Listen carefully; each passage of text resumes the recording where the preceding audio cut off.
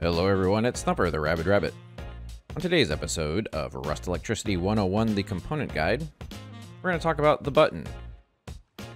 As the description says, it's a simple electric button.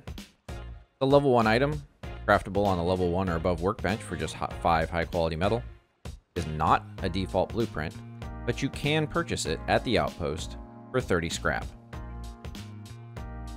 It consumes one rust watt for itself, like most electrical components. So as demonstrated here, when activated, you'll see there is 100 units coming in, and it will pass through the remainder of 99. It stays activated for 5 seconds, so it is the functional equivalent of a 5 second timer. It does have a couple advantages over the timer though. Number one, it's cheaper to craft. They both take 5 high quality metal, but the timer also requires a gear. The button is also purchasable at the outpost, whereas you would need to find and blueprint a timer if you wish to craft those. They are not a purchasable item in vanilla. Aside from that, functionality is very similar, and it is very simple.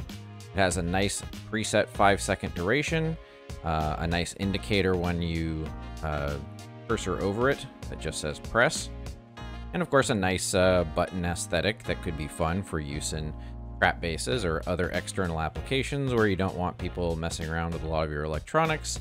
You don't need a toggle, but you just want to put a button out there that does fun things. Aside from that, very simple item, the button.